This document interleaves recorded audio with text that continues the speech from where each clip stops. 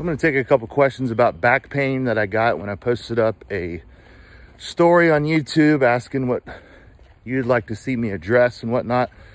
Just as an FYI, a lot of these back pain questions that are very specific, I'm not going to be able to give you answers because I need to know your assessment.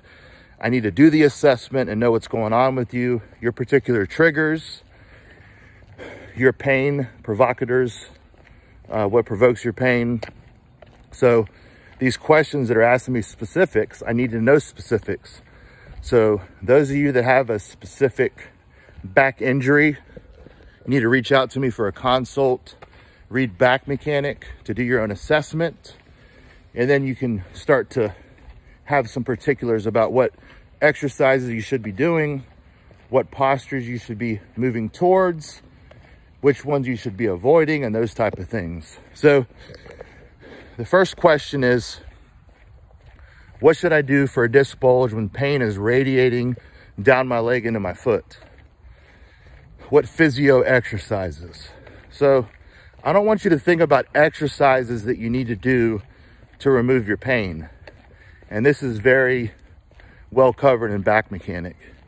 You've got to identify your cause of pain, whether it be compression, flexion, extension, so on and so forth.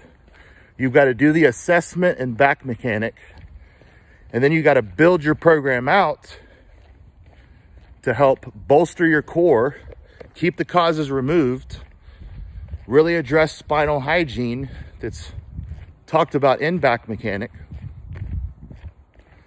And then from there, let the spine desensitize.